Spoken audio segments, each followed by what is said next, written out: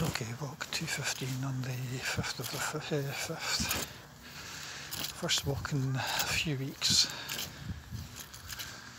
Kind of been,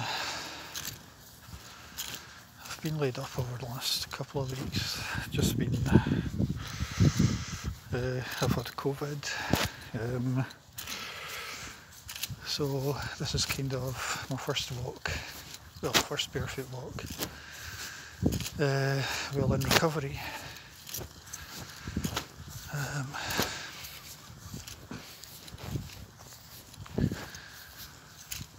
it's funny because last walk I did would have been about two and a half weeks ago. I didn't know that I had COVID. I mean, I must have had COVID at the time. I didn't know that I had it. I just thought I had the flu. But Uh, that day I maintained social distancing,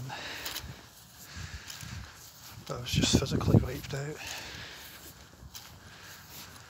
Um, I just could not move. I did the walk and did what I had to do, but uh, so this is day 23 and uh, walk 215 by day 23 of since I figure I showed symptoms of COVID. Uh, it's funny because it just gives you a different perspective on a lot of things.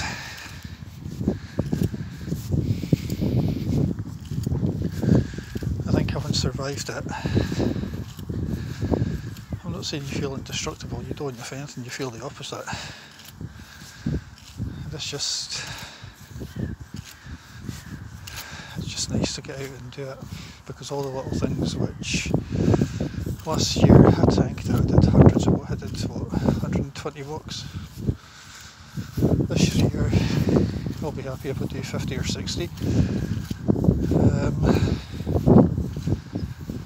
I think right now it's just all about getting out and feeling the grass and all the things which I take for granted, all the things which we all take for granted.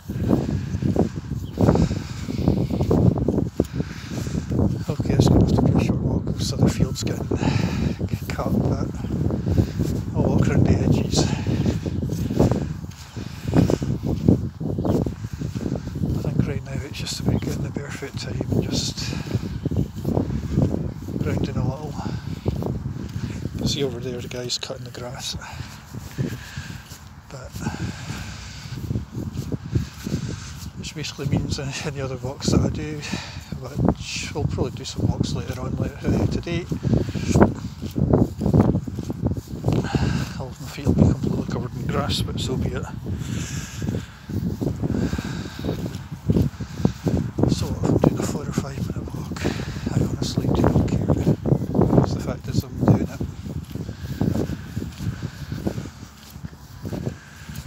Uh, it's funny how it's little, you appreciate the little things more having gone through what you've gone through.